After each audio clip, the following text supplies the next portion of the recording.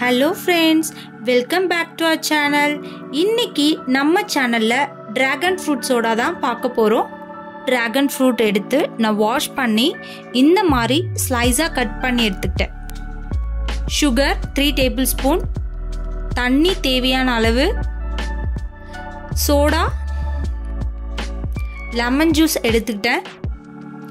ஒரு ட்ராகன் ஃப்ரூட்ஸை நான் மிக்ஸி பவுலில் போட்டு கிரைண்ட் பண்ணி எடுத்துக்கிட்டேன்.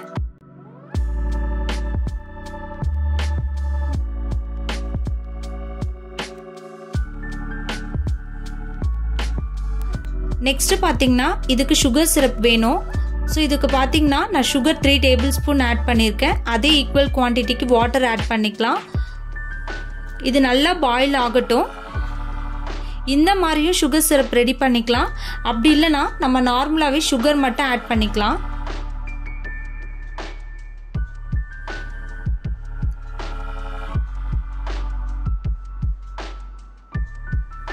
ஸோ பாயில் ஆகிடுச்சு நமக்கு. இப்போது நெக்ஸ்ட் நம்ம ஜூஸ் ரெடி பண்ணிடலாம். ஸோ ஃபஸ்ட்டு நம்ம சோடா ஆட் பண்ணிக்கலாம்.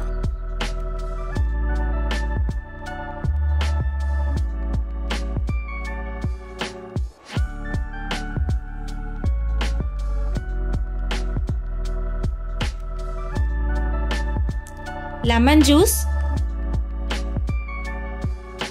சுகர் சிரப் நான் த்ரீ டேபிள் ஸ்பூனுமே ஆட் பண்ணிக்கிட்டேன்.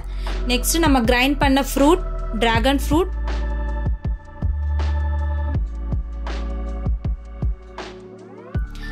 ice cubes add பண்ணிக்கிட்டேன்.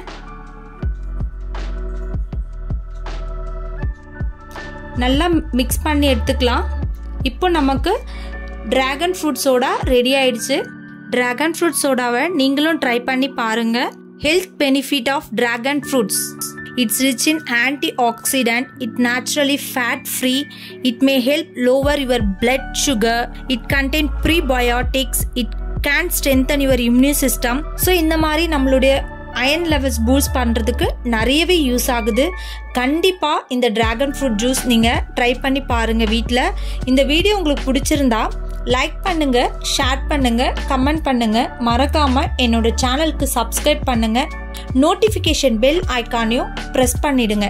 Thank you so much